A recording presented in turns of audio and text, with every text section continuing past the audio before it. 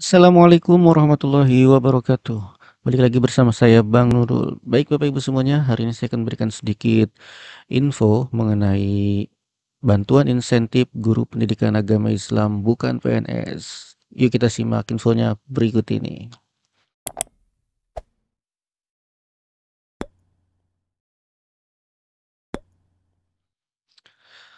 Oke Bapak Ibu semuanya, untuk Bapak Ibu guru pendidikan agama Islam bukan PNS, kita akan ngecek apakah bantuan insentif katanya sudah turun.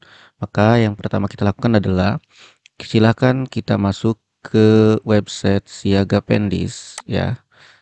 Lalu login. Oke.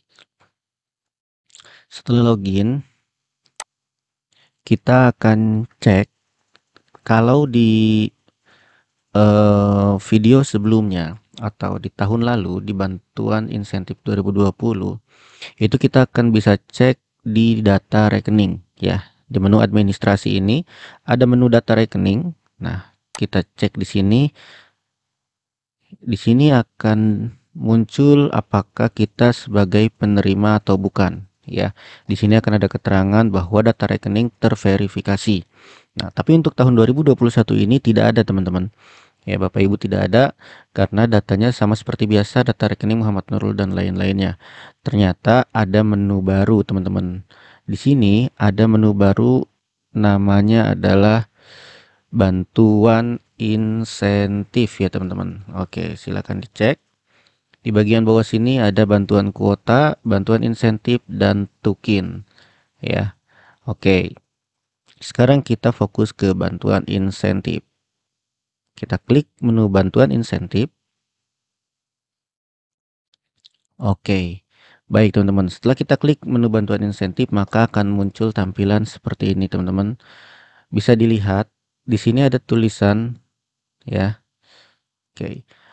Anda termasuk dalam daftar penerima bantuan insentif. Nah, bagi Bapak Ibu guru yang termasuk dalam daftar penerima bantuan insentif, maka ketika menu bantuan insentif itu diklik akan muncul notifikasi seperti ini ya. Akan muncul notifikasi bahwa Anda termasuk dalam daftar penerima bantuan insentif. Tapi bagi Bapak Ibu yang tidak menerimanya, maka Bapak Ibu juga akan menerima notifikasi di bagian sini bahwa Maaf, eh, Anda tidak termasuk atau belum termasuk dalam daftar penerima bantuan insentif ya Bapak Ibu ya. Jadi bagi yang menerima alhamdulillah, bagi yang belum menerima bersabar. Mungkin rezekinya dari tempat yang lain Bapak Ibu ya, tidak usah berkecil hati. Intinya setiap aplikasi siaga itu harus diupdate, lakukan update saja gitu. Karena memang kewajiban kita sebagai guru agama Islam adalah mengupdate data kita di aplikasi Siaga Pendis. Ketika nanti ada bantuan atau apa pun itu, maka itu adalah bonus sebagai keaktifan kita Bapak Ibu. Baik, kalau ternyata kita sekarang adalah penerima bantuan insentif, apa yang harus kita lakukan? Yang harus kita lakukan adalah kita klik di bagian sini. Ya, di tombol button ini tulisan bantuan insentif silakan Bapak Ibu klik Nah, kalau sudah diklik, dia merupakan file PDF ya Bapak Ibu. Silakan Bapak Ibu download filenya. Setelah itu Bapak Ibu tentukan simpannya akan disimpan di mana. Setelah di-download, Bapak Ibu silakan buka. Oke, ternyata isinya adalah merupakan kartu insentif atau SPTJM ya Bapak Ibu.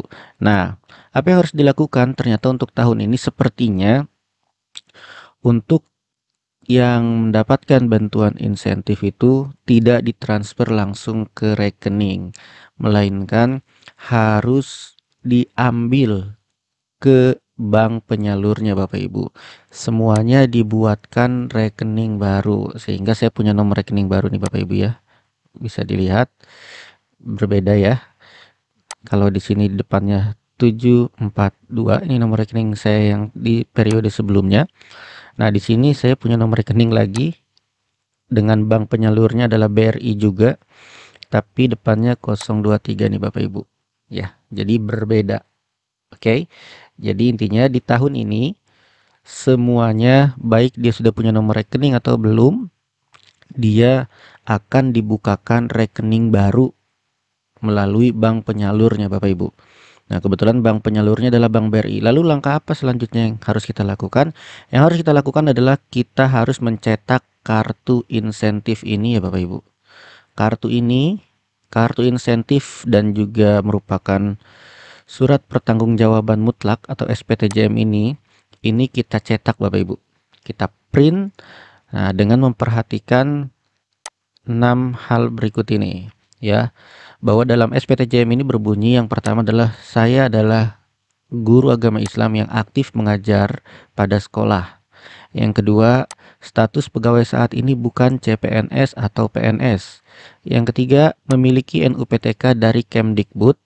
Yang keempat, bukan penerima tunjangan profesi GPAI. Jadi tidak menerima tunjangan profesi ya belum sertifikasi seperti itu. Jika sudah sertifikasi berarti ini tidak berlaku Bapak Ibu. Kalaupun dapat ya saran saya sih tidak usah diambil ya. Biarkan buat yang lain saja gitu. Yang kelima bukan penerima insentif dari unit atau instansi lain. Nah biasanya ini Bapak Ibu. Kok saya nggak dapat sih? Nah biasanya ini sih analisa saya saja ya Bapak Ibu. Biasanya Bapak Ibu sudah pernah dapat mungkin dari unit atau instansi lain. Misalnya, Bapak Ibu pernah menerima bantuan dari BPJS TK atau BPJS Tenaga Kerja. Maka sistem akan mendeteksi bahwa Bapak Ibu sudah mendapatkan bantuan sehingga di aplikasi siaga ini tidak mendapatkannya lagi. Walaupun mungkin di periode ini BPJS TK sudah tidak ada lagi mungkin ya kayak gitu tapi mungkin datanya masih nyangkut kayak gitu ya mungkin mudah-mudahan di periode berikutnya datanya bersih lagi sehingga bisa mendapatkan uh, insentif di periode berikutnya.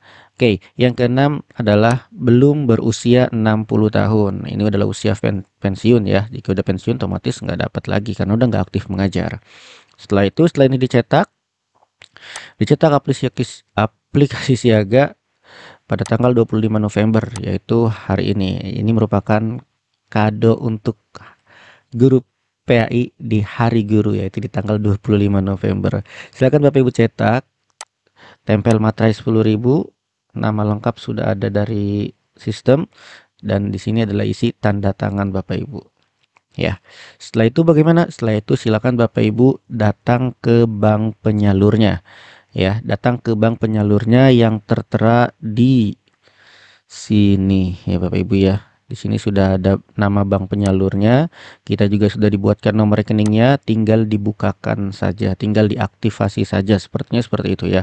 Karena kita sudah punya nomor rekeningnya juga, kemungkinan adalah kita ke bank tinggal melakukan aktivasi rekening kita dan melakukan penyaluran e, dana insentifnya ke nomor rekening kita seperti itu. Nah, e, kalau kejadian di sebelumnya di periode 2020 ketika datang ke bank itu ada teman-teman yang lain bilang kalau pihak bank belum menerima uh, dananya, anggarannya. Gitu. Nah, mungkin ini kalau misalnya nanti teman-teman ada yang ke bank ternyata ada pihak bank yang wah, kita belum menerima dananya nih dari Kemenak. Ya mungkin sedang dalam proses gitu. Jadi silakan datang saja ke bank secara berkala gitu ya.